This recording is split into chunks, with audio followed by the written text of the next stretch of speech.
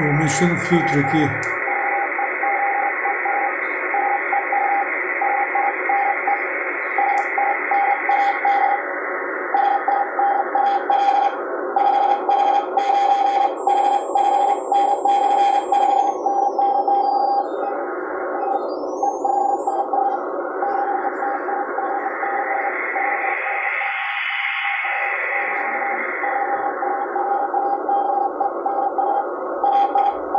Agora é com um filtro legal.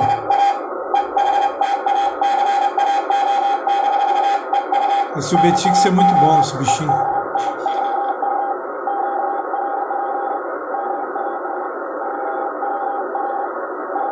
Que é só com PY4TW.